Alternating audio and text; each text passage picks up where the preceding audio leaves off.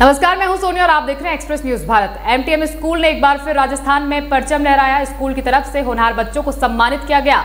छियानवे प्रतिशत अंक लाने वाली आयरा खान को स्कूटी दी गई।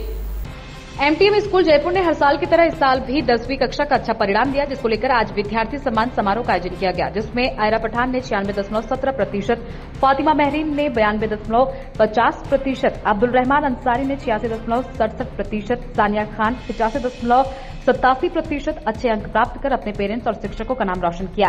ट्वेल्थ कॉमर्स में हसान ने सत्तासी दशमलव साठ प्रतिशत, नजीर ने छियासी दशमलव अस्सी प्रतिशत उम्मे कुलसुम ने अस्सी दशमलव बीस प्रतिशत, ट्वेल्थ आर्ट्स में जैनब बयासी दशमलव चालीस प्रतिशत, अलसबा सतहत्तर प्रतिशत बनाकर ट्वेल्थ साइंस में सानिया कुरेशी, उनासी दशमलव चालीस प्रतिशत, अक्सा ने चौरासी दशमलव अस्सी प्रतिशत बनाकर अपने परिवार का नाम रोशन किया, जिसमें आयरा पठान ने छियानवे दशमलव सत्रह प्रतिशत से अपना लक्ष्य डॉक्टर बनना बताया और अपनी कामयाबी के पीछे director Waseem sir, Azhar sir, Arshad sir, Ziya sir और सभी अध्यापक के मोटिवेशन और अभिभावकों की दुआ बताया।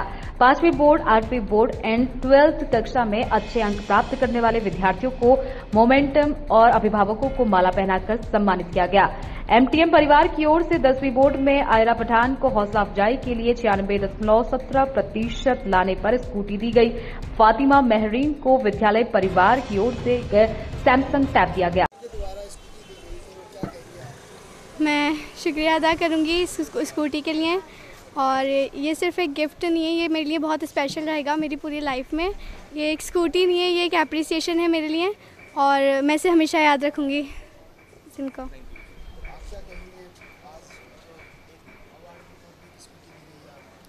सर ये जो अवार्ड है इससे और बच्चे जो है ना इंस्पायर होंगे उससे।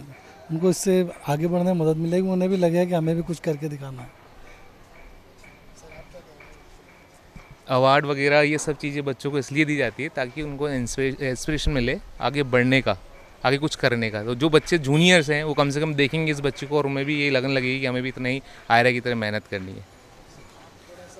बिल्कुल सर जैसा कि सर ने कहा कि बच्चों को हौसला अफजाई के लिए छोटी मोटी चीज़ें बताते रहना, देते रहना चाहिए ताकि वो आगे अपने जो मेन मिशन है उनका, जो भी I S I P S R S doctor engineer उस मुकाम तक पहुँच जाएँ।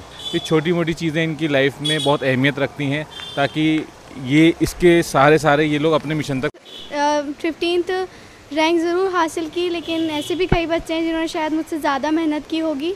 तो मैं उनको मैसेज दूँगी कि वो अपनी मेहनत को कांस्टेंट रखें और इन उन्हें सक्सेस मिलेगा ज़रूर।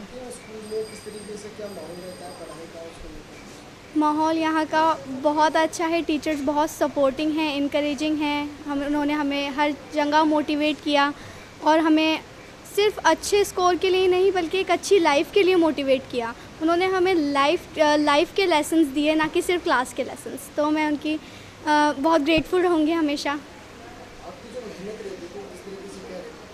मैंने अपनी वंस अगेन अपनी अपनी मेहनत में कंसिस्टेंसी रखी। और डेली मैंने अपने टास्क को कंप्लीट किया और जो भी टास्क मुझे स्कूल से मिलते थे मैं उनको डेली कंप्लीट किया करती थी। डेली अपनी सेल्फ स्टडी अलग होती थी स्कूल स्टडी अलग होती थी। होमवर्क को मैंने स्टडी से कभी नहीं मिलाया उसे अलग रखा और कंसिस्टेंसी रखी अपनी स्टडी में।